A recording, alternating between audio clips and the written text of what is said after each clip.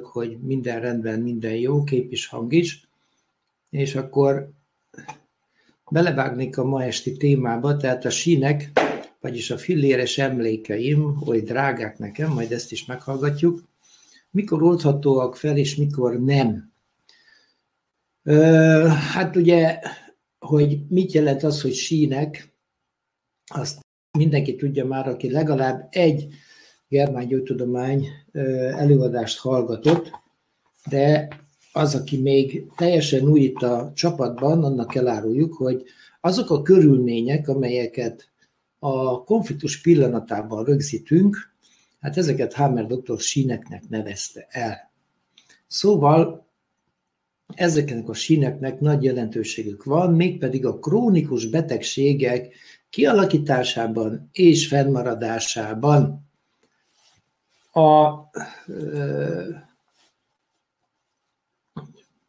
Hammer doktornak a, a nagyságát és a, a, a tudományát nem győzöm minden alkalommal ki, ki emelni, mert elképesztő az a, az a tudás, amit átadott nekünk, amit ut- maga után hagyott az emberiség számára.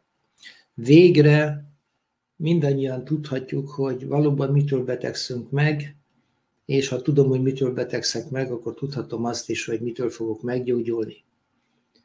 Azt szeretném rögtön az elején tisztázni mindenki számára, hogy a germán gyógytudományban nem tartoznak bele a hiányos táplálkozás okozta problémák, a balesetek, a sugárzás, a mérgezések, ezek a fizikai szinten történt megbetegedések, tüdőporbetegség és egyéb ilyen finomságok, vagy a hipermarket gazdaságos szemét fogyasztása, kitartó fogyasztása következtében létrejött anyagcsere zavarok, ezek nem tartoznak a germán gyógytudomány tárgykörébe, hiszen a germán gyógytudomány tárgykörébe azok a korképek tartoznak, hogy így mondjam, amelyek egy lelki megrázkódtatás következtében indultak el, és amelyeknek a, a, az agy közvetítésével szervi elváltozásuk lesz. Az előbb említett történeteknek nincs az agyban lenyomata, ez egy nagyon lényeges különbség. Tudjuk mindannyian, hogy a, a germán gyógytudomány felfedezője dr. Rike Gert Hammer azzal a helyzettel találkozott, hogy a 19 éves fiát a szabolyai herceg, a szavai trónörökös nemes egyszerűséggel lelőtte. Ez a 19 éves gyermek, ez a barátaival ment el szórakozni Káváló szigetére egy csónakkal átmentek, és mivel ő elég fáradtnak érezte magát, mire megérkeztek, ő inkább a csónakban maradt és aludt. És álmában a szavajai herceg két pisztolylövéssel halálosan megsebesítette. Nos, 111 nap küzdelem után ez a gyermek meghal az apja karjai között, és ez történik 78. december 7-én, és két hónapra rá Hammer doktornak heredaganata lesz, és ez elgondolkodtatja aztán Hammer doktort, aki addig egészséges volt, hogy a daganatának a kialakulása csak is a gyermekének az elvesztésével állhat összefüggésbe. Gyógyulása után egy nőgyógyászati ráklinikán dolgozik Hammer doktor, ahol a pácienseket megkérdezi, mint volt daganatos beteg, hogy az ő életükben nem történt-e valami nagyon váratlan, súlyos esemény, ami megváltoztatta az életüket, és ez a 200 megkérdezett beteg mindig igennel válaszolt, hogy a daganat enne ezután alakult ki. Nos, a felismerése Halmer doktornak, hogy a betegség elindításához kell egy érzelmi megrázkódtatás, ami hirtelen, váratlanul érkezik, mint derültékből a villámcsapás. És ha mindezt eh, magányosan éljük meg, és benne ragadunk ebben a konfliktusban, akkor az agy közvetítésével szervi elváltozás alakul ki. Ez a felismerés egy paradigmaváltás a medicinában. Tehát megváltoztatja azt a gondolkodást, amit, amire eddig épült az orvosi gondolkodás. Mindig külső tényezőkkel, genetikával, vagy, vagy immunitással magyarázzák a korképek kialakulását, vagy egyszerűen kijelentik, hogy ismeretlen korképről van szó. És ez a, az egész gondolkodást felülírja, nem csoda, hogy akkor a ellenszélbe ellenszéllel találkozott Hammer doktor, mint amilyennek találkozott. Tehát a első biológiai természettörvény felismerése 1981-ben arról szól, hogy Hammer doktor rájön a rák vastörvényére, vagyis a megingathatatlan igazságra, hogy a daganat kialakulása előtt mindenkinek volt egy nagyon súlyos érzelmi megrázkodtatása, valamilyen félelme természetesen, örömünkben nem lesz konfliktusunk. Mindez váratlanul, magányosan megélt történet, amiben benne ragadtunk. A DHS-ről még a továbbiakban néhány kiegészítést fogok tenni. A lényeg az, hogy ez a három kritérium, ha teljesül, hogy súlyos, fáradtlan és magányos, akkor DHS-ről beszélhetünk. Ha benne maradunk a konfliktusba, akkor viszont lesz szervi válasz. Ha kilépünk a konfliktusból, mondjuk kettő perc alatt, akkor nem lesz szervi válasz. Tehát mi lenne a megoldás rögtön, ha feltennénk a kérdést, hogy miért élünk meg konfliktusokat, és hogyan tudnánk ebből kilépni, nem de bár? A válasz az, hogy de bár, de bár. Szóval a, a, abban a pillanatban, amikor megéltük ezt a váratlan eseményt, az idegrendszerünk mindent rögzít. Vagyis a képet, a hangot, azt, amit éppen emésztek, vagy éppen a számban van az íze, az illatokat, tehát minden érzékszervemmel mindent rögzítek, ami abban a pillanatban az érzékszervem számára információ volt, és legközelebb csupán egy információ következtében újra tudom indítani az egész túlélő programot, újabb megélés konfliktus nélkül is. Tehát ezek azok a körülmények, amit Hammer dr. Sineknek nevezett, és ezek nagyon, de nagyon fontos ö, ö,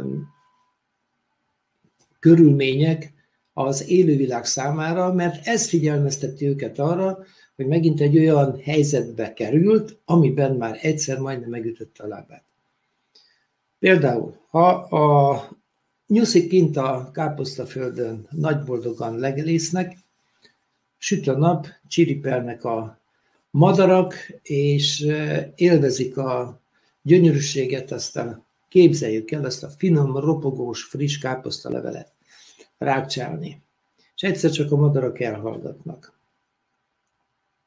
Aztán rókák támadnak, a szélen levő nyuszit elkapják, a többiek elfutnak, kiérkeznek a répaföldre, mit fognak csinálni a nyuszik, nem fognak depresszióba esni, neki fognak és rácsálják akkor a répákat, vagy éppen a következő földön, amit találnak. Még mindig süt a nap, csiripelnek a madarak, de megint elhallgatnak. Most akkor szétnéznek a nyuszik, hogy ha-hó, van itt valahol egy róka? Vagy kinézik a azt a pontot, amerre a menekülés iránya van, és cikszakban sürgősen elmenekülnek. Tehát ha megértjük azt, hogy a sineknek a rögzítése a túlélésünket biztosítja, biológiai szinten természetesen, akkor megértjük azt, hogy ezek a sinek csak akkor fognak eltűnni, ha hajlandók vagyunk érzelmileg feloldani ezt a bizonyos DHS-t. Mondom, hogy érzelmileg. Hogyan? Ha egy félelmet éltem meg, akkor nyilván, hogy ezt az egészet meg kell fordítanom, és erre majd még külön kitérek. nagyon lényeges dolog, hogy az állatok nem tudják a félelmeiket megoldani. Ők a sineknek köszönhetik a túlélésüket. De mivel ők mindig a pillanatban élnek, ezért nem lesznek krónikus betegek. Krónikus betegek lesznek a házi állatok, mert nem változik a körülmény, nem tudnak valahonnan elmenekülni. Tehát újra meg újra ugyanazzal a dologgal találkoznak.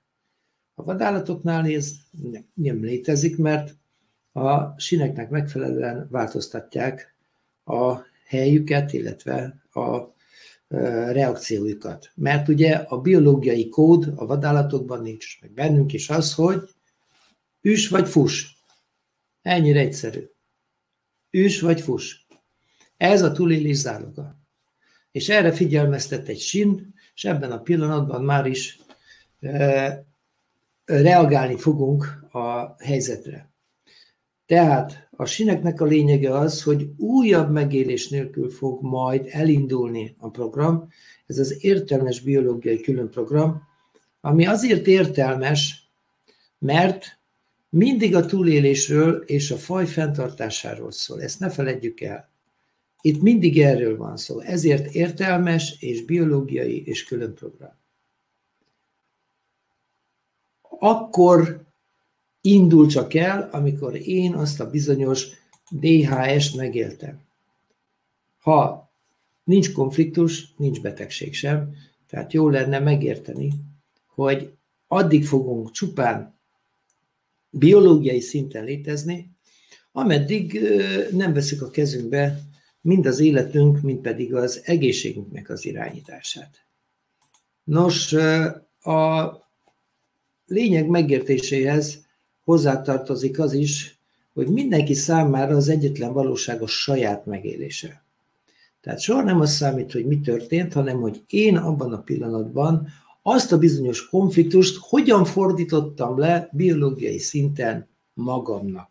Halálfélelmem volt. Szarul éreztem magam. Menekülhetnékem volt. Leírtam magam. Aggódás kapott el. Rémületfélelem kapott el ki akartam jelölni a területem, hogy eddig is ne tovább. Tehát itt mindenki másként is másként fog reagálni. Ez a példa, amit itt láttunk, ez Hammer doktor könyvéből való, és a nőgyógyászati blogban részletezem ezt az egészet, ha valakit érdekel. Az előbbiekből következik, hogy a betegség a beteg nélkül nem gyógyítható. Ezt értsük meg. A beteg tudja csak elmondani a saját szavaival, hogy ő mit élt meg, hogy ez számára mit jelentett, és ezt senki más nem tudja elmondani, csak ő. Nem egy külső megfigyelő fogja ezt elmondani, hanem mindig a beteg, és ha hagyjuk, hogy a beteg megnyilvánuljon, vagyis elmondja a dolgokat úgy, ahogy ő azt megérte, akkor a szóhasználatában gyakorlatilag már benne van a diagnózis is. Ezért lényeges, hogy a beteg nyilatkozzon, írjon levelet, és ne a hozzátartozó. Természetes más a helyzet, ha a gyerekről van szó. Nos, a második biológiai természettörvényben Hammer doktor leírja, hogy Két fázisban zajlik le minden értelmes biológiai különprogram, amit mi általában betegségnek nevezünk, és mindjárt rájövünk, hogy mikor nevezzük betegségnek. Mert addig, ameddig benne ülök a konfliktusban, konfliktus aktív fázis, addig senki se érzi magát betegnek, csak feszültnek, idegesnek, és azt mondja, hogy stresszes az életem. És ez alatt már kapok egy biológiai szintű segítséget, hogy túléljek már a konfliktus aktív fázisban. A konfliktus megoldása, ha érzelmileg történik, annak az a lényege, hogy akkor nem fog újra ismétlődni a program, nem akad el a gyógyulási fázis, De az élet megy tovább, körülmények változnak, és ebből adódik, hogy egyszer csak megoldásba jut valami, amit addig nem tudtunk megoldani, ahogy szoktuk mondani, az élet megoldotta, és akkor jön az, hogy exodatív fázis. Ez azt jelenti, hogy a, ebben a helyzetben fogjuk minket betegnek érezni. De még mielőtt idáig eljutnánk, hogy exodatív fázis, és ja Istenem, doki beteg vagyok, gyógyíts meg, még mielőtt idáig eljutnánk, azért elemezzük ki ezt a konfliktus aktív fázist, mert ez egy nagyon lényeges, hogy felismerjem, hogy, hogy valamit sürgősen le kellene zárnom. Mit? Azt, hogy feszült vagyok, hogy ideges vagyok, hogy nem tudok elaludni, ha elalszok, felébredem, nincs étvágyam, nem eszem, emelkedik a vérnyomásom, szapor a pulzusom, hideg a kezem, hideg a lábam. Ezek a leggyakoribb, legáltalánosabb tünetei a konfliktus aktív fázisnak. És ebben a fázisban itt látjuk, mi történik. A koponya CT-n már kimutatható, itt van körbe pöttyözöm, azt a területet, ahova becsapódott egy, mint derült égből a villámcsapás, becsapódott egy, egy konfliktus. Igen, mert a félelemnek rezgése van, energiája van. És ez az energia becsapódás az agyban lenyomatot hagy. Még akkor is a Hammer doktor ellenségei azt mondták, hogy ezek a ezek műtermékek lennének, a Siemens ki is kérte magának, hogy ezek nem műtermékek, aztán nevezhetnénk ezeket a Hammeri gócokat akár ö, ö, konfliktus markereknek is. Tehát konfliktus aktív fázisban már ott van a koponya CT-n a ö, kép, és amikor eljutottunk a konfliktus megoldásába, akkor ér, fogjuk érezni azt, hogy betegek vagyunk, mégpedig itt az exodatív fázisban. Mert megjelennek a gyulladás tünetei, és az addig hideg kezem, hideg lábam azt fogja csinálni, hogy kimelegszik. A szöveti szinten duzzanat jelenik meg, fájdalom, működésképtelenség, tehát a rubor, tumor, kálor, dolor, funkció, léza, az középkorban leírt tünetek mai napig is érvényesek, és ugyanígy működünk mai napig is. Semmi nem változott. Azt ne feledjük, hogy az exodatív fázisban az agyi szinten is megjelenik az ödéma. Nem csak szervi szinten, agyi szinten, és erre látunk itt két képet. Itt látunk egy, egy ödémás területet, most körbe ez másképpen néz ki, mint a szomszédja, és itt néz ki, egy, itt van egy másik ödémes terület, ez egy kicsit nagyobbra sikeredett, ez a görbe, de láthatjuk a nyíl hova mutat. Az ödéma fejfájást fog okozni, ezt ne felejtjük el, de a fejfájásnak még rengeteg más oka is van. Nézzük meg a fejfájásról szóló webkonferencia anyagot, mindenre egyetlen webkonferencia nem tudok kitérni.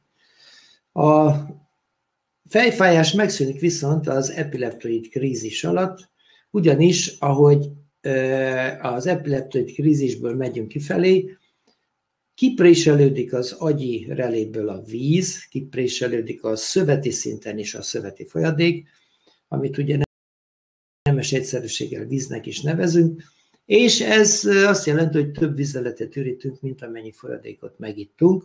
Itt pontosan azt a helyzetet látjuk ezen a képen.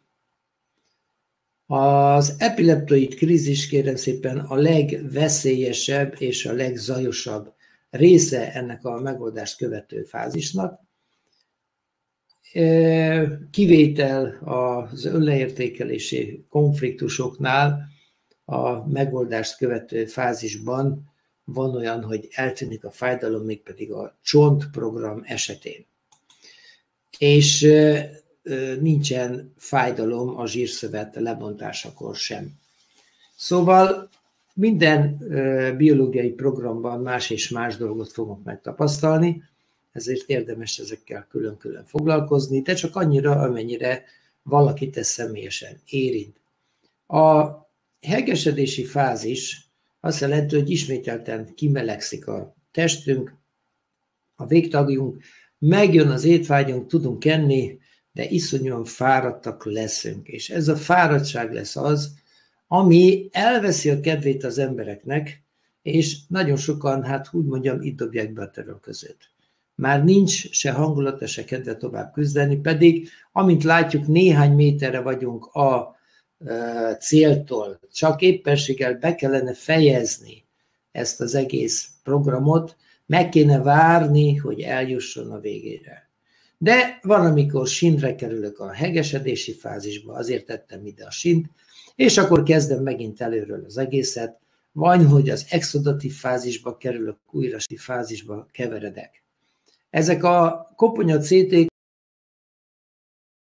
a koponya alappal párhuzamos síkokat mutatják, azért tettem ide ezt a képet, hogy lássuk, hogy valójában itt mit látok. A gyógyulásnak nem feltétele a koponya CT-nek az ismerete. Ezt nem kell a betegnek tudnia, ismernie, megfejtenie, nem ezzel kell foglalkoznia. Hogy mit mutat a CT, azzal kell foglalkoznia a betegnek, hogy hogy zárja le úgy a konfliktusát, itt, hogy, hogy zárja le úgy ezt a konfliktust, hogy többet ne induljon újra el. Tehát hogyan kéne ezt az egészet érzelmileg megoldani. Ez a kulcsa az egész történetnek, ezt jó lenne, ha megértenénk. A hármas, a harmadik biológiai természettörvényt Hammer doktor már a felesége halála után fedezi fel. 85. április 12-én Zigrid Hammer meghal a férje karjai között, ugyanúgy, mint a fia. Én nem tudom, Hammer doktor miből készül, de fantasztikus lelkierővel rendelkezett, hogy ezt is túlélte, és ezután még mindig folytatja a kutatását, és 86-ban a harmadik természettörvényt is megfejti, hoz vissza. És ez adja meg az alapját annak, hogy megértsük, hogy mi történik a szervezetünkben. Nos kérem, figyeljünk, mert most a medicinának az alapjait ismertetem. Sejtekből vagyunk felépítve, amelyek működnek. A túlélés érdekében vagy szaporítom a sejteket, vagy sorvasztom a sejteket, vagy harmadik működést fogok módosítani. Nincs negyedik. Ez nem véletlenszerűen történik, hanem csíralemezeknek megfelelően a sejtek egy életen át mindig ugyanazt a programot végzik, és ezeknek a sejteknek megvannak az agyi reléi, itt van agytörzs és kisagy. Ez együtt úgy hívjuk, hogy ősagy, agyvelő és agykéreg, ezt együtt úgy hívjuk, hogy nagy agy. Mindjárt láthatjuk a következő képen, hogy mindez hogy néz ki. Ezt se kell megtanulni ahhoz, hogy valaki meggyógyuljon egy betegségből. Ez csupán a, a, a gondolkodásunknak a helyretételéhez szükséges, hogy fölfogjuk, hogy a valóság itt van elrejtve előlünk, és ha tudom, hogy valaminek mi a kiváltó oka, akkor fogom tudni megfejteni a megoldást is. Tehát amiután megtermékenyül a petesejt, mert gondolom mindenki tudja, hogy nem a gólya hozta, szóval az elkezd nagyon gyorsan szaporodni, osztódni, osztódni, és mielőtt beágyazódna a mély nyálka hártyába, létrejön a három csíra lemez, ennek látjuk a keresztmetszeti képét itt bal oldalon. Látunk belül egy sárga, kívül egy piros, és a kettő között narancssárga színnel jelzett sejtsort. Nos, ami sárga szín, az az endoderma, belső csiralemez, ami piros és kívül van, az külső csiralemez, ektoderma, ami középen van, az mezodermos, ennek két rétege van, egyik rétege látjuk hozzátapad a sárgához, nos ezt a kisagy irányítja, a másik rétege hozzátapad a piroshoz, vagyis az ektodermához, ez pedig a nagyagy fehér állománya irányítja. Láthatók az összefüggések, láthatók a nyilak, ezek egyirányú nyilak, visszafele nincs, tehát ami egyszer a külső csiralemezből kialakult, ez egy életen át ezt a dolgot fogja, ezt a programot fogja végezni. Van neki főnöke, idegrendszeri irányítása, és nem létezik olyan, hogy meggondolja magát egy sejt, elbúcsúzik a jelenlegi főnökétől, mondjuk egy endodermális bélsejt, hogy nem mindig a prostatát mondjam, elköszön az agytörstől, és azt mondja, hogy szia, te drága, én most bejelentkezek a, az agyvelőhöz, és én ezután csontsejt leszek. Ez, ez, Aki ezt el tudja hinni, hát annak, annak még, annak még, hát hogy mondjam, sok minden mást is be tudnak magyarázni, és ennek látjuk a bizonyítékát a jelenlegi történetünkben is. Szóval ezt az egész rajzot csak azért tettem ki, hogy azt szemléltessem, hogy minden rendben van a biológiánkban. Itt hierarchia van, mindig elmondom, és nem demokrácia. Ha demokrácia lenne, már nem volna élet a Földön. Tehát egy sejt, egy kialakult sejt egy életen át ugyanazt a dolgot végzi, tehát amikor azt mondják, hogy átét, akkor azt úgy eresszük el a fülünk mellett, be se engedjük a fülükbe ezt a szót, hogy, hogy metasztázis vagy átét, mert ilyenek nincsenek.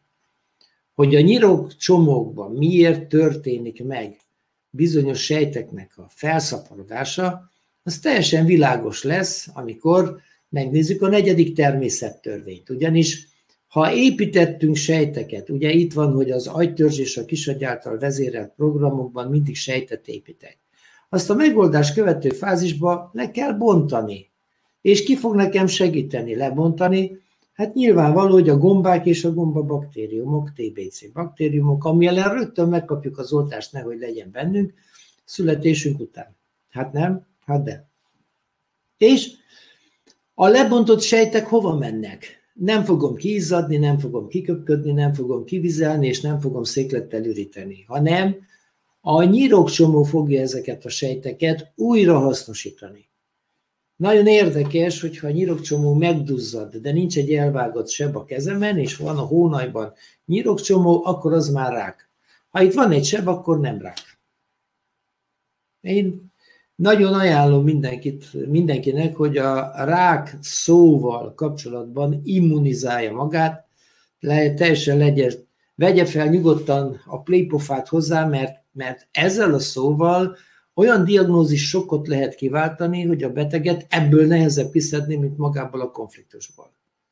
Kérem szépen, nyugodjunk meg, mindannyian rákosak vagyunk most. Mert vagy építek sejteket, vagy bontok, vagy működést változtatok. Tehát itt nincsen negyedik történet. Tessenek megnyugodni. Mikor lesz abból igazolt rák? Amikor túl sok a rák, ha szövettöbblet, meg az is rák, ha sejthiány van, mert a rákipar mindenben rákot lát. Jó lenne, ha kimennének a patakra rákászni és megnyugodnának. A szervezetben nem, nem rákot kell keresni, hanem értelmes biológiai különprogramokat, tehát ha már ezzel a nével marad, hogy rák, hát akkor fogadjuk el, hogy rák, és el van felejtve a hozzá kötődő félelem, mert ez lesz az, ami újabb programot, meg újabb programot indít el, és ezért nem tud meggyógyulni egy daganatos beteg, mert benne marad a konfliktusban. Ez a lényeg. Tehát, hogyha építettem, akkor lebontom a sejteket itt a megoldás követő fázisba, és ezeket a sejteket a nyirokrendszer feldolgozza. Ha viszont bontottam sejteket a agyvelő és agykéreg által irányított programokban, akkor mit fogok csinálni? Hát vissza fogom építeni a program végére a hiányzó sejteket. Ennél egyszerűbb egyenletrendszer nincs a világon. Ha meg működést blokkoltam, erre csak az agykéreg által irányított sejtek képesek, akkor ezt a működést helyre tudom állítani, és mondjuk meggyógyulok egy bénulásból, egy cukorbetegségből, vagy helyre jön a szaglásom, a hallásom, az ízérzésem, stb. stb. stb.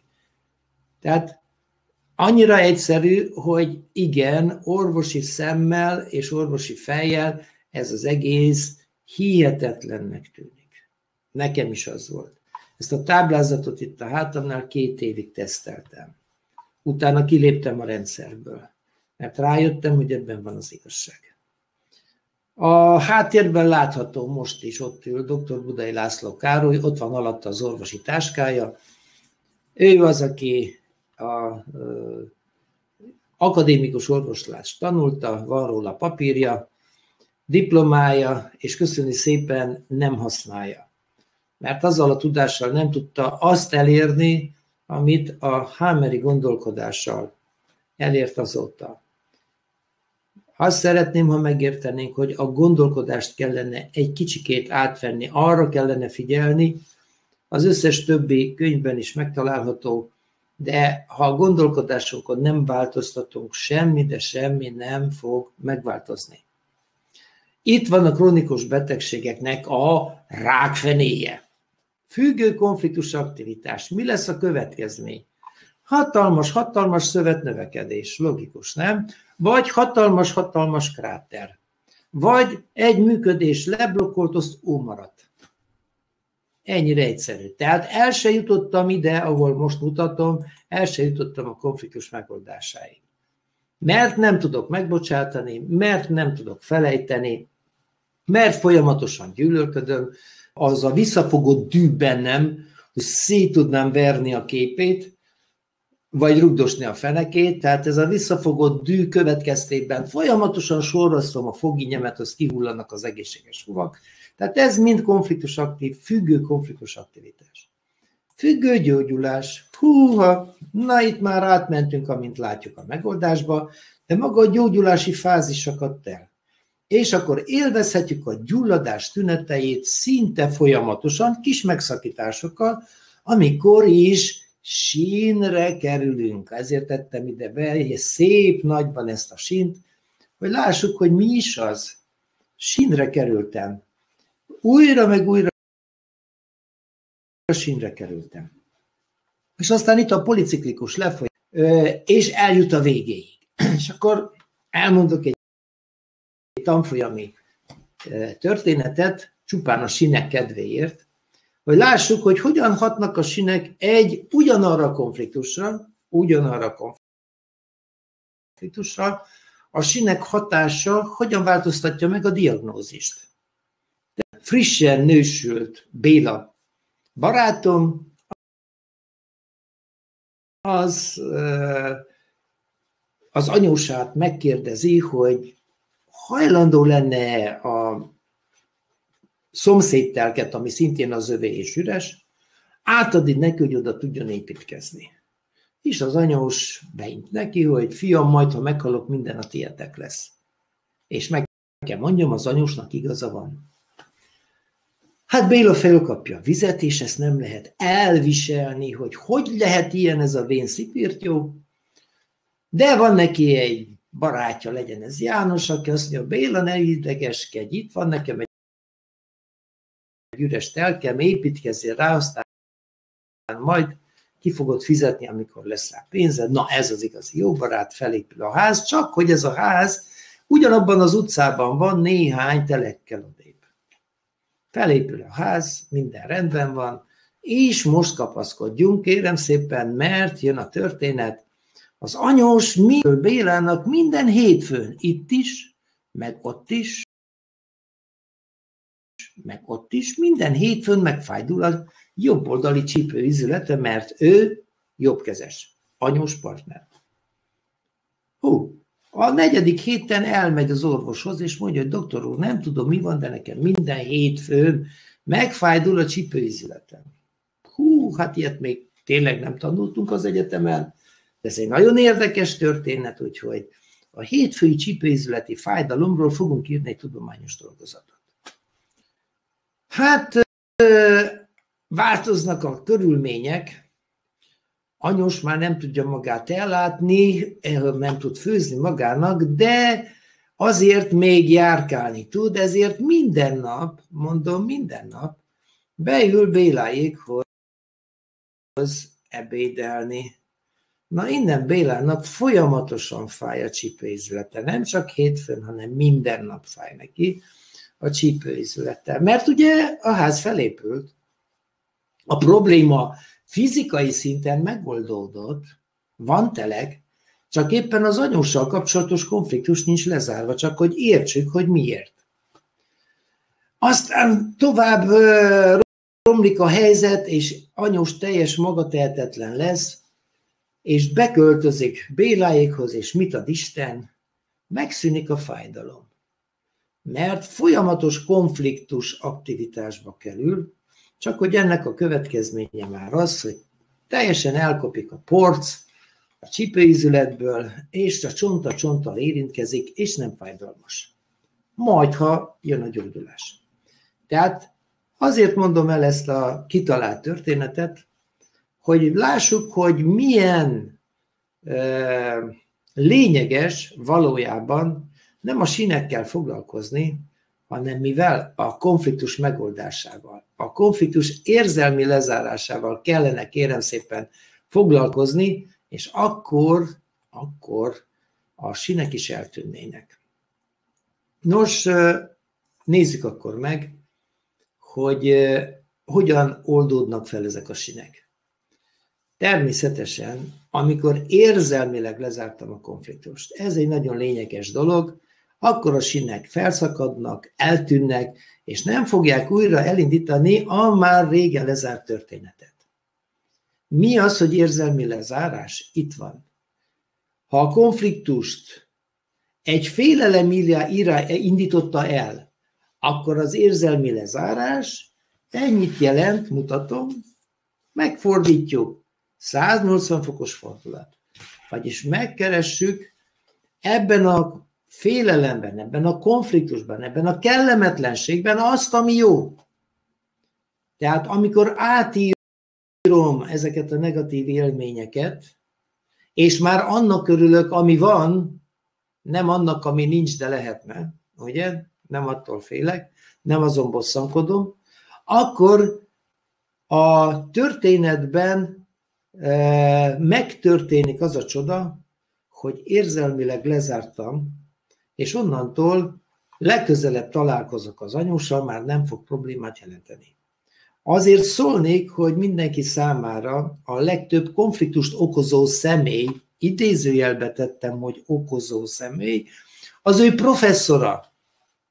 Legyen szíves kiállítani még ma este neki egy A4-es lapon egy diplomát, és köszönje meg neki azt a sok személységet, amit elkövetett, mert rá fog jönni, hogy nem ő a problémának a háttere, gyökere, oka, foka, hanem mindig mi magunk vagyok azok. Mert miből van a konfliktus? Abból, hogy nem tudom elfogadni a másikat, vagy önmagam, vagy bármit. De ha el tudom fogadni, akkor van konfliktus. El tudom fogadni, hogy anyós azt mondja, hogy hát fiam, majd ha meghalok, minden a tied lesz, akkor van konfliktus, akkor nincs konfliktus. És ha nincs konfliktus, akkor nincs betegség sem. Ezt jól lenne megérteni. Na de, itt van egy nagyon lényeges dolog, és ez a viselkedése. Na ez az, amire vakfoltosak vagyunk. Ez az, amit nem veszünk észre, mert már annyira megszoktuk, hogy mindig az üs vagy fusnak a, a programját teljesítjük és aki az üsnek a programját teljesíti, mondjuk az mindig mindennek ellenszegül, az nem tudja azt elfogadni, és elindít magának a cukorbetegségtől, a csípőízületi fájdalmon keresztül, a nyakfájdalom, mert igazságtalan a világ vele, meg stb. stb. egy csomó programot. Mert ez a viselkedése. De amíg ezen nem változtatok, addig semmi nem fog megváltozni. Addig mint egy biológiai lény reagálok. Kérem szépen, a reagálás az nem egy tudatos döntés, az egy biológiai túlélő válasz. Ezt tessenek megérteni. És itt akkor nem DHS-ről beszélünk, hanem egy reagálásról. Csak hogyha én mindenre úgy reagálok, akkor meg lesz rá a biológiai válaszom mert a reagálás mögött is van némi konfliktuska, csak nem is tudatosul. És ezért mondja a beteg, hogy én nem találom a konfliktusom. De egyet jegyezzünk meg, senkinek a biológiája unalmában nem betegíti meg magát. Ott ül, unatkozik, de nem lesz beteg. Rendben? Kell hozzá egy konfliktus, egy el nem fogadás, valami, ami az én felfogásommal nem egyezik. Vannak, tudnék leveleket idézni, pro és kontra. Az, hogy nem újjék el nap a te haragoddal. Kérem, ez nem duma. Ez nem egy gondolat. Ide be kell tenni az érzelmi átalakítást. Vagyis amint azt a 222. 2021. január 5-i első webkonferencián Elmondtam, megkeresük a kakiban az aranyat. Újrakezdés új alapokon. Minden nap egy új lehetőség. Ez az előadás címe. Tessenek megnézni, teli van megoldással. Tele van megoldással.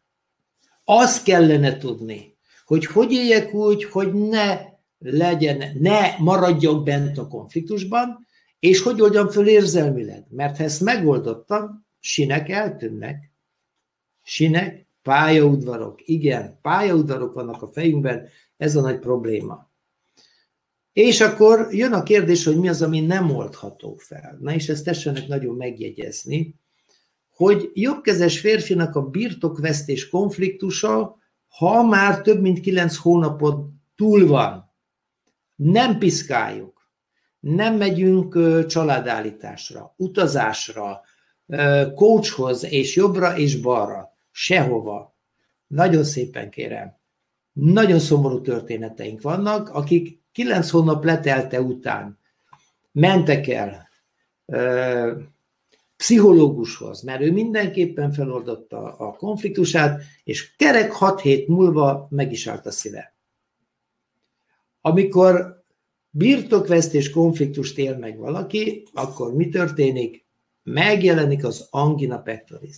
Ez annyira jellemző, hogy nem lehet összetéveszteni semmivel. Van melkasi fájdalmak és angina pectorisról szóló differenciált diagnosztikai előadás.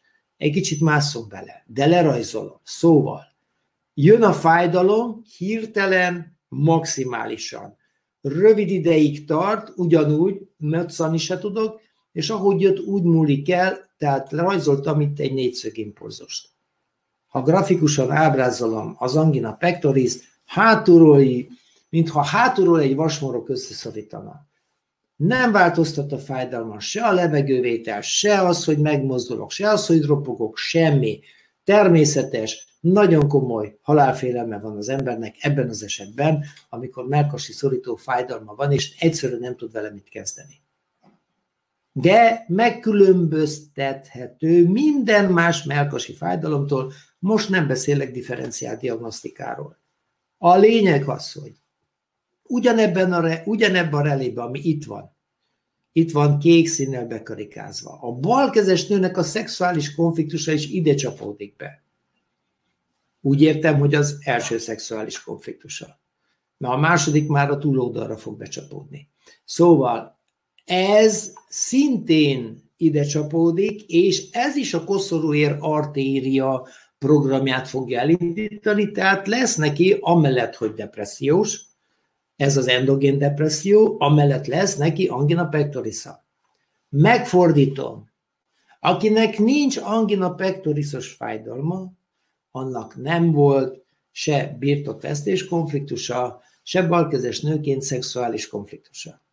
Megegyeztünk. Lehet, hogy volt valami szexuális esemény, de nem annak élte meg, hanem valami másnak. Lehet, hogy ocsmányfélgenitális konfliktusnak, aminek a következménye egy fehér folyás lesz.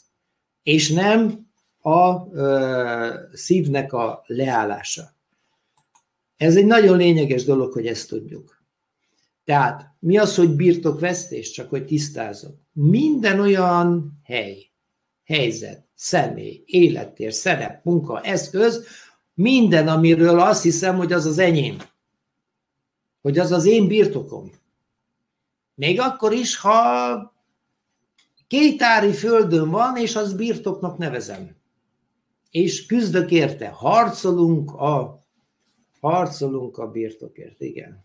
Nem tudom, valakinek volt el kezében valami, mikor megszületett. Szóval elvették tőlem, lenyúlták, elhápolták tőlem, megszűnt, felrobbant, elvitte az árvíz, nem tudom, de így élem meg, jegyezzük meg, angina pectoris az, ami ebben a pillanatban megjelenik.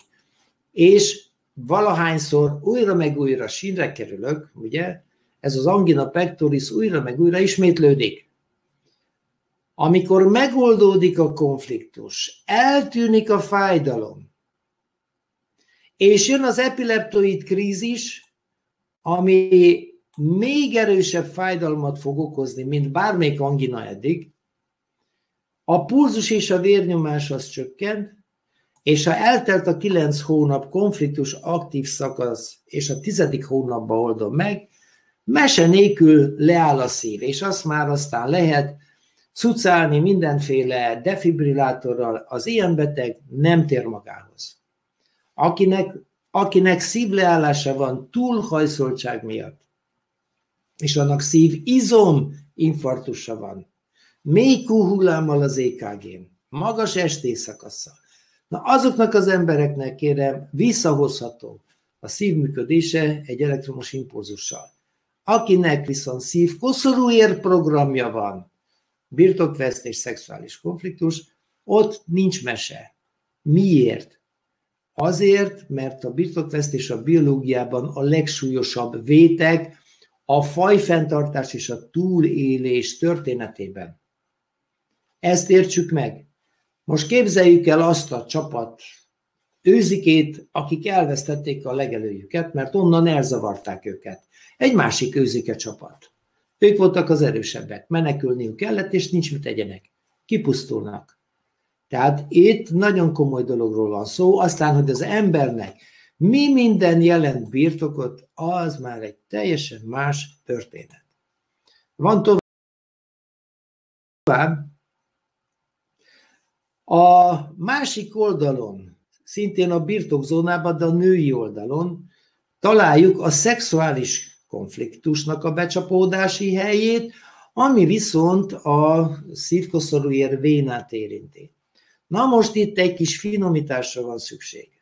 Mert szexuális konfliktus az kérdés, hogy én mit társítok. Mert hogyha én úgy nézek erre a pasasra, hogy ez az én pasasom, tehát van benne birtoklás is, akkor szexuális konfliktus is lesz, meg birtokvesztés is lesz, ha megcsal. Így van, hölgyeim? Vagy ha lelép, mert nincs kivel.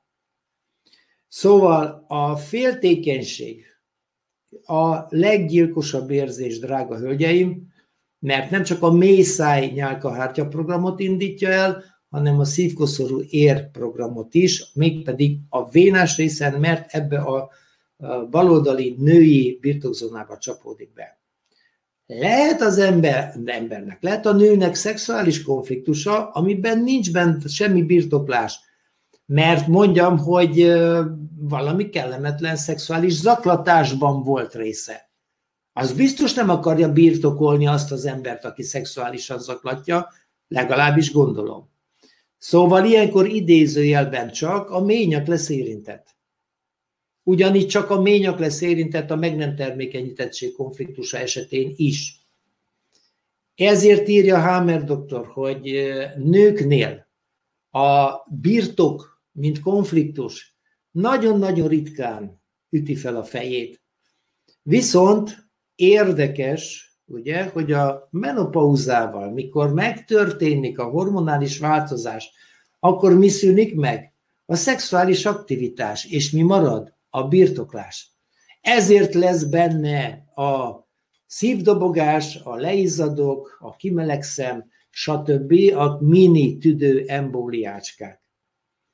Szóval gyönyörűen össze vagyunk rakva mi már biológiailag is, ha csak ezt a 4%-ot vizsgáljuk, mert most ezzel foglalkozunk, ami a biológiai test. Na most balkezes férfinak a birtokvesztés konfliktusa a női oldalra csapódik be. És ugyanúgy vonatkozik itt is a 9 hónap. Ha azon túloldja meg, akkor jön kérem szépen a tüdő embólia. A nagyon szaporas szívveréssel, a nagyon magas vérnyomással, és a tüdőembólia, ha, embólia, hogyha, hogyha megfelelő méretű, hát akkor ott is a vége az lesz, hogy a szív megáll, illetve az illető megfullad. Tehát ezeket a dolgokat jó tudni. Na de mondjuk, hogy ezt eddig is elmondtam minden tanfolyamon, meg bent van a birtokzónás konfliktusok problémakörében, és a többi, és a többi. Ezt nem tudom, hányszor elmondtam. De konfliktus tömeg kérem szépen.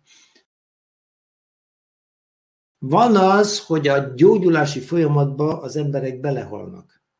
Ez történt régen a tüdőgyulladással. Azért haltak meg annyian tüdőgyulladásba, túl sokáig benne voltak a birtokféltésbe, és ezért oldotta meg a penicillin, mert a penicillin, mint antibiotikum visszatette konfliktus aktív fázisba, eltüntette a gyógyulási tüneteket, és így az illető nem halt bele. De ha túlhajszoltságról beszélünk, és azt tudjuk, hogy az a szívizom program, és nagy a konfliktus tömeg, olyan hatalmas szívizom infarktus lesz belőle, hogy ihaj. Szerencséje annak van, ebben az esetben, aki megalomán. Vagyis aki túlhajszolja magát anyagyerek, meg partner oldalon is. Ez az ember azt éli meg, hogy hát az ő hátán fát lehet vágni, ő mindent kibír. Ő mindenkinek mindig mindent megcsinál. Rajta nem múlik, akármikor szólnak, füttyentenek, ugrik. Mert dupla megfelelési kényszer van benne. Ebben az esetben a szívizomzat nem érintett olyan mélyen, mintha csak az egyik vagy a másik oldali lenne a konfliktus. Ez is a túlélés szolgálja. Elképesztő. Mennyire a túlélésre vagyunk hangolva. Jó lenne, ha ezeket a mondatokat úgy megjegyeznénk. Túlélésre vagyunk hangolva. És jön a birtok bosszankodás, amiben igenis bele lehet halni, a súlyos életveszélyes állapotot tud kelteni az epileptoid krízis. Tudok olyanról, aki epilepsziás volt és gyomorvérzésben halt meg. Igen. Tudok olyanról, aki az epeuti elzáródást nem tudta megoldani. Bosszankodott, bosszankodott, mert mérlegeket árult, és nem tudta elviselni bosszankodott, hogy az ő mérlegeire bárki bármi rosszat is mondjon. Pedig nem ő gyártotta, ő csak egy közvetítő volt. És belehalt. Érdemes volt. Tiszta sárga volt, epeuti elzáródással, stb. Mert mi történik? Az epileptoid krízisben jön az úgynevezett májkóma, ami egy abszansz, és zuhan a vércukorszint, mert érintett a hasnyálmirigy alfasejtje is. És hadd nem mondjam, hogy a hasnyálmirigy program sem egy gyerekjáték. Bent van a hasunkban. Nem végbél, hogy kicsorog. Nem hólyag, hogy kipisilem. Nem, ez ott mélyen bent van. És rengeteg komplikációt tud okozni. Tehát amikor ilyenekről van szó, azért nagy körültekintés szükséges. És van még egy dolog, ha több futóprogram van, mert azért is ugye tudjuk, hogy pályaudvarok vannak a fejünkben, minél intelligensebb valaki, annál több futóprogramja van. És ezeknek a programoknak van egy közös sínje. Mondjuk teszem azt, hogy az anyós. És minden, minden konfliktusom, minden problémám csak az az szipírtyó. És amikor meghal a szipírtyó, mi lesz? Hirtelen mindent megoldok, és megyek utána. Ennyire egyszerű. Hát érdemes harcolni, küzdeni, csak ne felejtjük, hogy ez a harc lesz a végső. Ezt énekeltük valamikor régen.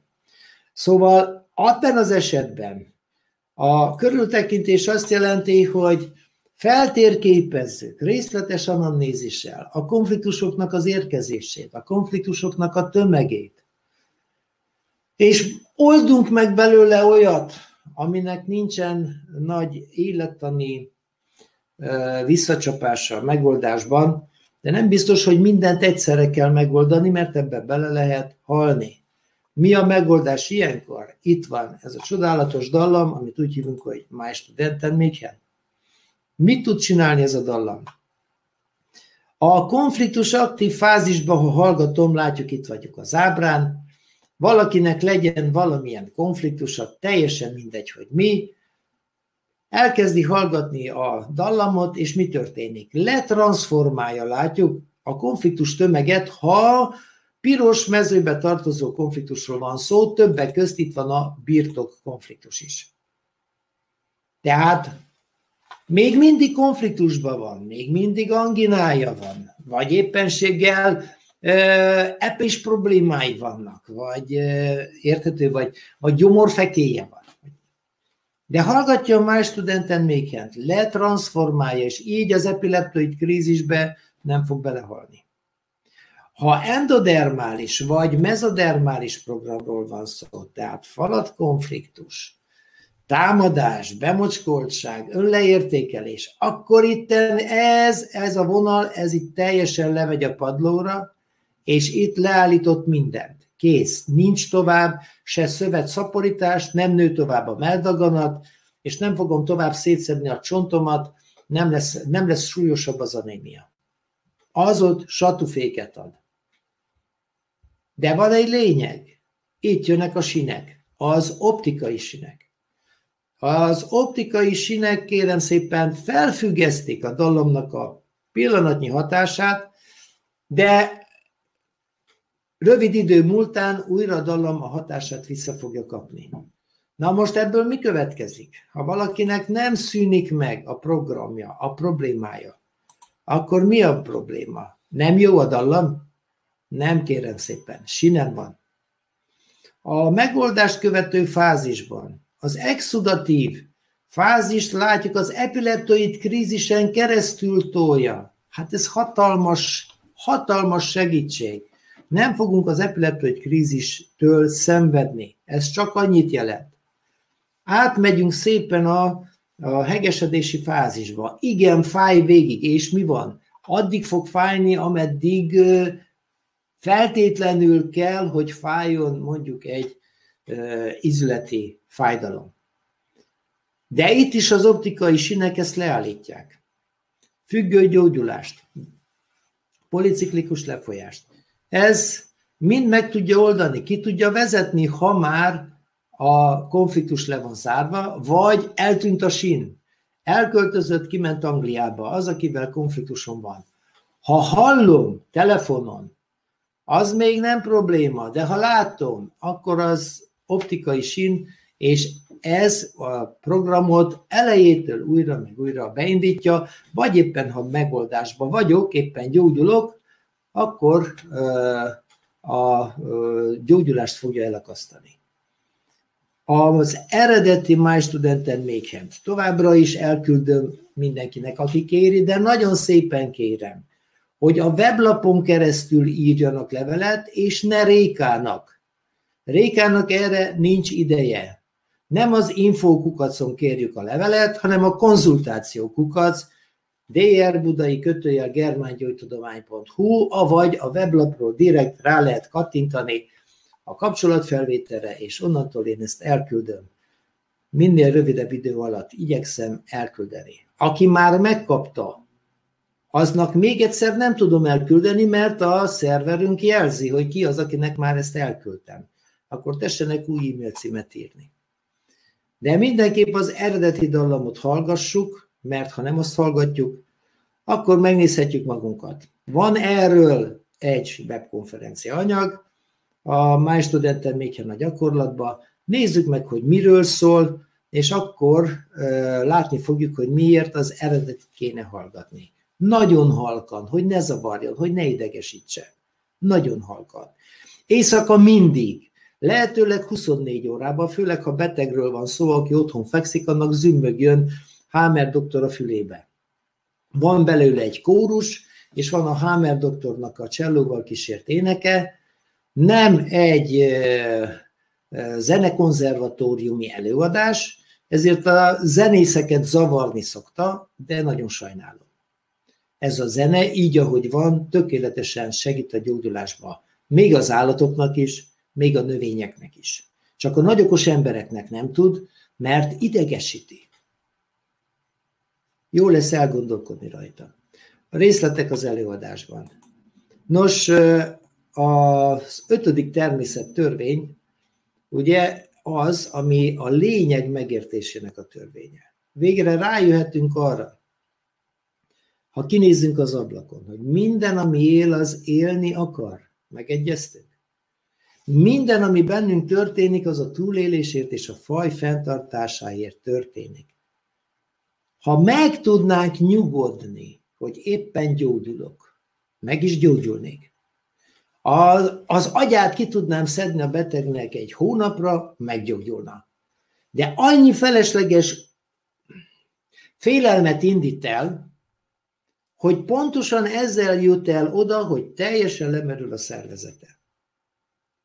Minden fájdalom ellenére, ha bízni tudnék abba, hogy a biológiai testem az, aki szembenéz velem a tükörben, vagy akit most én itt látok a kamerán keresztül, ő a legjobb barátom.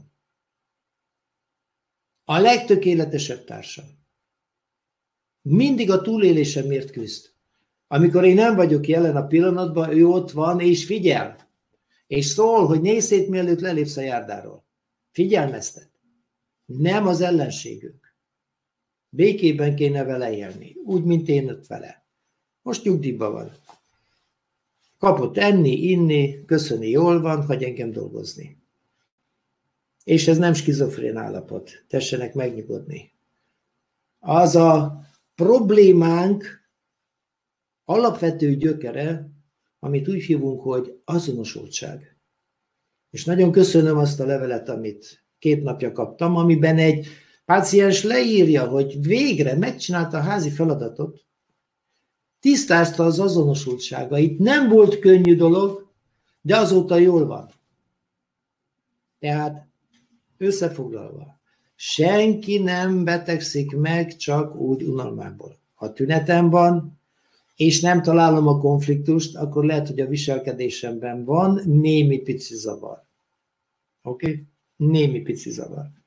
Lehet, hogy azon kéne változtatni. Lehet agyalni, gondolkodni, gondolkodni hónapokon keresztül, ez nem megoldás.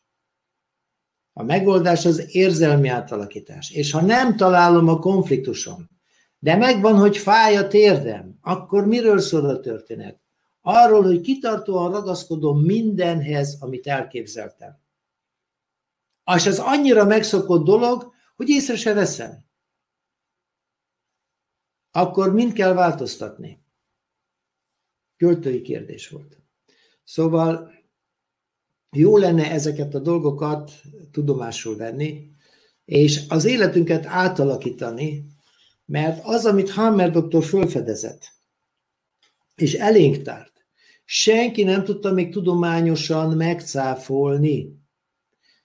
Végre 98-ban egyetemi szinten elismerték. A Tübingeni Egyetemet kötelezte a bíróság arra, hogy foglalkozzon Hammer doktor téziseivel, de az egyetem lerázta. Magáról ő nem kívánt ezzel foglalkozni. Tehát hiába van róla bírósági ítélet, hogy mit kell tenni, nem csinálják meg. Ilyen világban.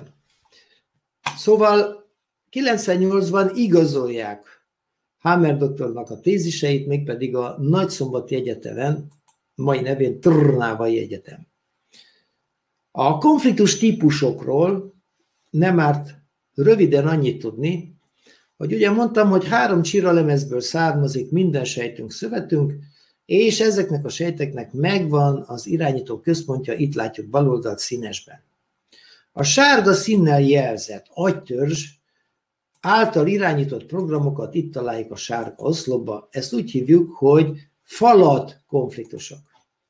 Mert biológiám számára minden falat, ami kell a túléléshez. És itt jön be már is egy nagy ö, felismerés, hogy a biológiai testünk nem tud különbséget tenni, a nagy okos agyunk sem. A valóság, az álom és az illúzió közt. Ez csak az agyam számára létezik, de a testemnek ez mind ugyanaz. Tehát elég, ha arról álmodom, hogy attól félek, hogy mi lesz, ha, és most fogok reagálni rá. Mondom, reagálni, mint biológiai válasz sejtszinten. Lélek, agyszer szinten történik minden, de ez a lélek nem az a nagybetűs lélek, amiről Réka holnap este fog beszélni. Csak a magyar nyelv sajátossága, hogy lelki megrázkódtatásról beszélünk, de valójában félelemről beszélünk, biológiai félelemről. Ötödik természettörvény mi volt? Emlékszünk még? Haláltól és faj kipusztulásától való félelmet oldja meg minden élőlény. Ezért küzd egy életen át. Ez az alapja mindennek. És ez fordítja le az intelligens agyam egy konfliktus típusra, most mondjuk azt, hogy falatra, vagy arra, hogy szegény árva bogár, behoztak engem ebbe a kórházba meghalni. Magány, egzisztenciális konfliktus, elvesztettem a munkahelyemet. A biológiai válasz a víz visszatartása lesz, és ebbe fogok meghalni. A halaknak ez túlélést jelentett, az emlősöknek ez abszolút de nem segít. De mindenkiben ott van, kutyában, macskában is, mert hogy ami túlélést biztosított egyszer, azt a biológia mindig továbbadja.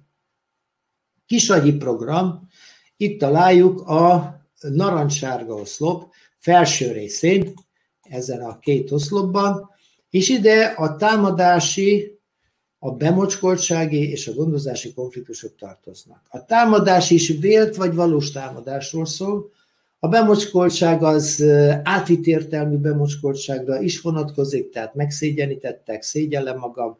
A gondozási konfliktus meg azt jelenti, hogy, hogy túlzásba vitt aggódás és szeretet élőlény sorsa miatt. És ez nem csak uh, emberről szólhat, hanem egy, akár egy uh, házi kedvencről is. Nos, a Amint látjuk, itt megjelenik az a szó, hogy kezűség.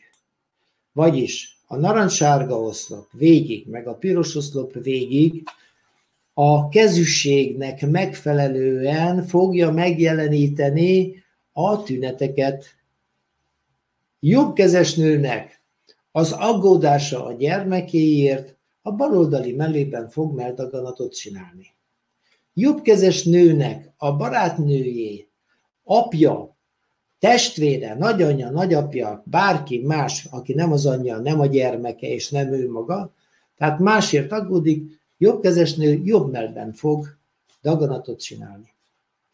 Ugyanígy balkezes nő a partner oldalon, bal, bal oldalon fog csinálni daganatot, az anyagyerek oldala balkezesnek jobb oldalon van, tehát az édesanyáért, a gyermekeért való aggódás miatt a balkezes nő a jobb mellében fog daganatot csinálni. És ez vonatkozik a támadásra, vonatkozik a ö, bemocskoltságra, az önleértékelésre és az elválasztási konfliktusokra, működésváltozásra ugyancsak. Tehát narancssárga és piros oszlop. A következő rész az a narancssárga oszlopnak a Második része, ami az agyvelő irányítása alatt van, ez az önleértékelési konfliktusoknak a becsapódási helye, és a szervi választ megkapjuk. Két hete vagy három hete volt egy térkép bemutatása, hogy az önleértékelésünk szervi szinten, illetve a testünknek milyen részét fogja érinteni, és innen tudjuk, hogy az igazságtalanság mindig a nyakat, a makadság mindig a térdet érinti, és a többi, és a többi. Itt változik a történet, mert az agyvelő és az agykéreg által irányított programok, itt ez a piros mező, mindig először sorvasztjuk a sejteket, megoldásba visszaépítjük. Míg a falat konfliktusoknál és támadási konfliktusoknál először mindig építettünk, aztán pontottuk. Jegyezzük meg, hogy a falat konfliktusoknál nincs kezűség. Nem számít, hogy jobbkezes vagy balkezes valaki, ha vese elégtelensége van, vagy ha vastagbérrákja van. Ott a kezűségnek nincs jelentősége. A kezűség a narancssárga oszlopnál jelentkezik, vagyis a mezodermánál. Felül van a régi mezoderma, kisagyirányítás, alatt az új mezoderma, vagyis a fehér állomány, a nagyagy fehér állománya által irányított program. A piros színnel jelzett külső csiralemezből származó sejteket az agykéreg irányítja, és itt találjuk meg a birtok elválasztási konfliktusokat, valamint a birtokzónán kívüli egyéb konfliktusokat, és a táblázat alján pedig találjuk meg a működésváltozásokról szóló értelmes biológiai különprogramokat távirati stílusban, rövid mondatban. Ez a táblázat a programokat tartalmazza, mégpedig az egyszeri lefutást. Nincsenek benne az elakadt gyógyulások, az elakadt konfliktus, vagy a policiklikus lefolyás. Ezeket a dolgokat a múlt héten megjelent könyvemben fogják megtalálni. A kérdés nem költői, ami itt van. Miért élünk meg konfliktusokat, hogyan tegyük feleslegessé? Ezt is meg lehet nézni a weblapról. A germán gyógytudomány tényleg egy olyan tudomány, ami volt, aki azt mondta, hogy ez egy kitűnő diagnosztikai eszköz. Már frekvenciát váltott az illető, mert csupán ennyit látott benne, és hiába beszéltem volna neki a megoldásokról, a megoldások napján felállt és hazament, mert neki egyéb dolga volt. Szóval a valós okoknak a feltárására nyújt segítséget, és ha már tudom a valós okot, akkor fogom a valós megoldást is megtalálni. Nem csak a gyógyulásra, hanem az egészség megőrzésére. Mert megoldhatok én, kérem szépen, egy programot. Ezzel remélem, hogy mindenki egyet tud érteni, hogy megoldhatok egy programot, és, és ez még nem garancia arra, hogy nem fog ismétlődni. Ha egy konfliktus tényleg le lett zárva érzelmileg, akkor eltűnnek a sinek, és többé nem ismétlődik. Akkor ismétlődik, ha csupán megértettem, és kész. De ennyi nem elég a megoldáshoz, hogy megértettem. Ez az agyamat megnyugtatja, de nincs érzelmileg lezárva. Az érzelmi lezárással, mond, mint említettem már, van egy pár előadásban utalás, a weblapon megnézhető. De pont ez az alapszintű tanfolyamnak a lényege, az érzelmi feloldás. Ehhez egy belső átalakulás szükséges, és ehhez adja meg az alapot az alapszintű képzés. Egyszerűbb és olcsóbb megoldás lesz egyszer egy ilyen képzésen részt venni, de lehet csupán az ingyen elérhető kitett anyagokat is bogarászni. Sokan megoldották a konfliktusukat, mert megértették, hogy mi a feladat, és tényleg lezárták a történetet, de felteszem a kérdést, hol vannak még az azonosultságoknak a tisztázásai és lezárásai, mert ezek az azonosultságok vezetnek a pokoli szerepeinkhez. Mikor tisztázzuk ezeket a szerepeket, és hogyan lépünk ki belőle? Mikor tanulunk meg úgy kommunikálni, hogy se a másikat ne bántsuk meg, se ne adjunk alapot arra, hogy ő meg tudjon bántani minket. Tehát amint az alapokat helyre tesszük a gondolkodásunkban is, amelyeket említettem, ami pont úgy fog hatni, mint az embriológia a medicinára, nos, akkor a bejáratott programokat le fogjuk tudni állítani. És nem fogjuk ugyanarra a helyzetre mindig ugyanazt a történetet újra meg újra elindítani. Nagyon köszönöm Andrejnek a levelét, amelyben azt írta, hogy a biológiai testem olyan, mint az előhívott kép a gondolkodásomról, érzelmemről. Igen, ez pontosan így van. Ez pontosan így van, és lehet kérem szépen mondani azt, mert ilyen is volt, hogy rá nem vonatkoznak a germán gyógytudomány törvényei, mondtam, hogy igazad van, nem vitatkozok vele. Az első lépés mindig a konfliktus tisztázása, de ebben a legnagyobb akadály az, hogy nem vagyunk őszinték önmagunkhoz. Itt kezdődik a történet. Tehát még egyszer mondom, senki se unalmában betegedett meg. Ha nem vagyok őszinte önmagamhoz, meg se fogom találni a megoldást, hanem mindig újabb és újabb magyarázatokat adok, hogy rá miért nem vonatkozik, vagy miért nem találja. Második lépés. A konfliktus érzelmi feloldása, vagy feleslegessé tétele, ugye? Itt jön a lényeg. És akkor, ha, ha gyerekről van szó, akkor annak az a fontos, hogy az biztos, hogy többé nem fordulhat elő vele, ami előfordult valamikor. A harmadik pont nem reagálunk ezután, hanem tudatosan döntünk. Tehát ez már az a lépés, amikor, amikor valóban tudjuk alkalmazni azt a tudást, amit egy képzés nyújt mindenkinek. A, amikor jönnek a kellemetlen helyzetek, de nem aktiválom a programot, két perc alatt kilépek. Minden este lezárom hálával a napjaimat, de mondom hálával, belső megéléssel, ha így jobban tetszik. És mindenért, mondom, mindenért hálát adok, ami aznap történt velem.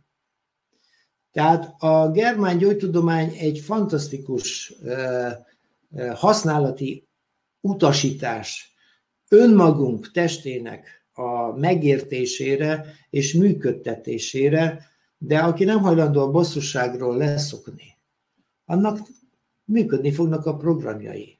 Akiben ott van a visszafogott dű, az továbbra is parodontopátiás lesz, és szétszedi a fogsorát. Nem olcsó szórakozás. Jobb lenne a visszafogott dühöt e, végre lezárni. Úgy gondolom legalábbis. A germán gyógytudomány tehát rámutatta arra, hogy nem azoktól a dolgoktól függnek a úgynevezett betegségek, amiről a medicinában beszélnek, hanem függnek a fel nem oldott érzelmi megrázkodtatások számától, hogy milyen hosszú a konfliktus aktív szakasz, és itt jönnek a drága sinek, amelyek meghatározzák, hogy lesz belőle krónikus betegség, vagy nem. Tehát, amikor felismerem egy külön program mögött meghúzódó okokat, a tünetek mögött, akkor fogok végre valós megoldáshoz nyúlni. Kérdés, hogy azt milyen szinten oldom meg. Megveszem az ellopott szerszámokat, azzal megoldottam érzelmileg, lezártam a programot? Azzal még nem. Szóval az érzelmileg megrázó konfliktusokat, ha feltárom, akkor fogok valójában megoldást találni, azokat érzelmileg is zárom le. Akinek kétsége lenne, hogy tudomány vagy nem tudomány a germán gyógytudomány, írja be ezt a szót, hogy tudomány a Google-ba, és nézzenek, hogy mit írnak róla. Az első lényeges dolog, hogy reprodukálható. Ami nem reprodukálható, az nem tudomány. Tehát nem csak Kárpát-medencében igaz a, a biológia működésére, amit itt elmondtam, hanem a világ bármely részén megtapasztalható. A halálfélelem mindenkinél tüdőszövet szaporulatot fog indítani. Össze is hasonlítható, mert ott van, ha a saját halálom miatt van bennem félelem, akkor apró sejtes tüdőszövet szaporulat lesz, ha egy szeretett lénynek a halála miatt van bennem félelem, halálfélelem, akkor egy gócot fogok a tüdőbe építeni, és ez ugyanígy lesz az indiánoknál is, meg, a, meg az eszkimóknál is, meg a bantunégereknél is. Tehát nincs különbség. És előre jelezhető, igen, ha, tudom, jön a kérdés, hogy mikor gyógyulok már meg, ha végre valóban lezártuk a programot. Ha elakadt programról van szó, akkor lehet, hogy a valódi lezárás után néhány napra, egy hétre az egész program is befejeződik. Attól függ, hogy miről beszélgetünk. Nos, ha valaki még mindig a statisztikáknak hisz, akkor nézze meg, hogy Winston Churchill mit mondott a statisztikáról. Állatkísérleteknek nincs értelme, mert az állatoknak a félelmei az ő félelmeik. Arra ők fognak adni valamilyen biológiai választ. Hogy lehet azt én rám vonatkoztatni? Tehát szerencsétlen állatokat kínozzák, megölik, azért, hogy valamilyen eredményt kapjanak. Elképesztő. Hámed doktor soha nem végzett állatkísérletet. Tehát a legjobb megelőzés, mert ugye itt van a lényeg, nem a szűrővizsgálat, nem az oltás, hanem érzelmileg megoldani a DHS-t, érzelmileg lezárni minden napot. És akkor, akkor tudhatjuk, hogy nem indítunk el egy túlélő programot. Na most, ha ez nem lenne igaz, amiről beszélek, akkor már ezt tanították volna nekem is az egyetemen. Mint legújabb felfedezést aminek a vége az, hogy és még további kutatásokat kell végezni. Minden felfedezésnek ez a vége. Ha mindez nem lenne igaz, akkor nem az történt volna a Hammer doktorral, ami történt. Akkor elismerték volna, és akkor nem ellene fordult volna az egész világ. Van egy könyve, hogy egy mindenki ellen. Tehát nem a lejáratásával foglalkoztak volna a médiák, hanem pontosan a riportokban a történeteket mondhatta volna el Hammer doktor, hogy ki hogyan gyógyult meg. De hál' Istennek a könyvei megvannak, lehet belőle tanulni. Ha mindez nem lenne igaz, nem hagytam volna ott azt a medicinát, amiben addig hittem. És igen, jó, igenis csak jól csináltam. Utána lehet nézni. Gyógyszeripari cégeknek dolgoztam. Mert hittem abban, amit műveltem. Amikor rájöttem, hogy ez mind félrevezetés, akkor viszont fölálltam, és kiléptem a rendszerből. Szóval, ha nem merjük megkérdőjelezni mindazt a tudást, amivel elláttak minket az iskolában és az egyetemeken, akkor ugyanúgy fogjuk csinálni a dolgainkat, mint eddig. Ahogy, hogy mennyi helyen csíphetjük el az átverést, az elképesztő. Nem csak a medicinában, más tudományágokban is ott van az átverés. Ne feledjük, a tudomány az, ami reprodukálható. Ami nem, az kérem szépen csak hipotézis. Én köszönöm mindenkinek a kitartó türelmét.